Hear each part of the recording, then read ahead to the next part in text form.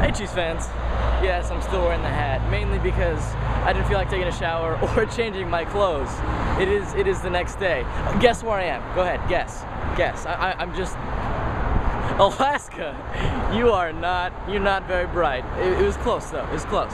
Uh, we're still obviously in New York, and uh, this morning I had to wake up crazy early. I, I, I woke up actually at three o'clock. I didn't need to wake up at three o'clock, but I couldn't sleep. Um, so that that was nice and fun. But my dad, he he ran a marathon. That's the reason we're here in New York, and. Um, he, he, just finished it. I, I was gonna record and everything, uh, but it's just real real brief where we could see him. So we just finished, and uh, we're gonna get some pizza in New York. There, there's there's nothing else to eat in, in New York. I'm kidding, but it's like it's like going to uh, something somewhere that has a stereotype and not eating the stereotypical food. Um, of course. Um, so that's that's it. We're heading to a nice pizza place that I've eaten at three times. Um, I think it's all I've eaten here.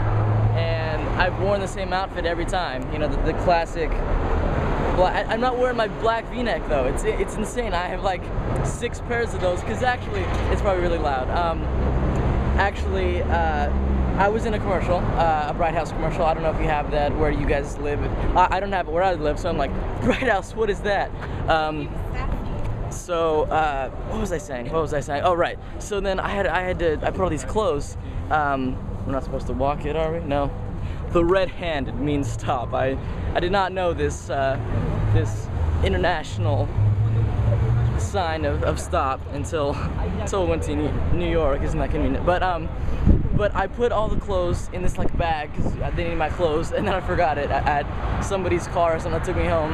So I now the only clothes I own is a pair of white pants and then this outfit and then like four four black v-necks and that's it all my colors and everything and so this is like all I have here in New York and it's cold so I can't just like sport my black v-neck. I might one day just like sport it. Uh, but we're gonna eat.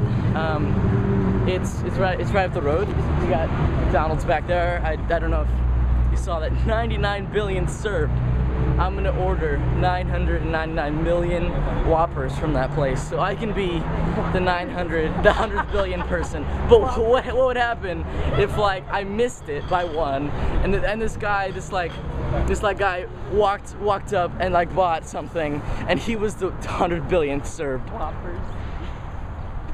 That would, I would, would not feel feel good about myself. Oh my, and I'd be fat. 999 million whoppers. Can you imagine that? How, how fat you would be? Obesity! Um, but welcome to America.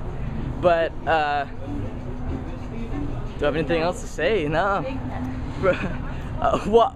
I said Whoppers. She's like laughing at me, my mom. I said Whoppers this whole time. Big Macs. You, you guys are watching an idiot that doesn't know his American foods. There's a stereotype coming to America and not having a Whopper from McDonald's. There you go again. you see? You see how it's it's oh I need to get some some fruit. It doesn't react well in my body. It's like what? Doctor, it's not Dr. Pepper. It's not zero. Get out! Get out of my body! Uh, people are looking at me funny. That's that's what happens when you're a vlogger. You become uh, nobody nobody uh, fazes you.